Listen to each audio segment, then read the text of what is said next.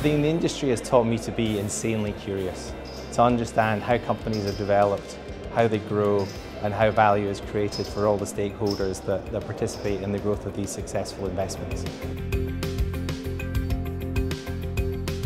The industry in Europe plays a critical role in driving the growth of the European economy.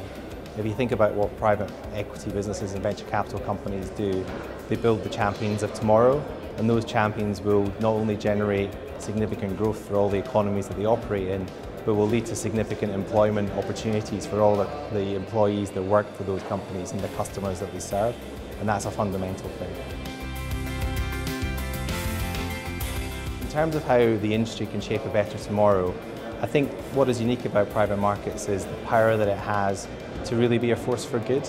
because of the mechanisms that determine how it's governed the investors and the owners of private market companies have a greater mandate to be able to insist that those companies behave in a way which is conducive to a sort of fairer, broader, better world for all of us.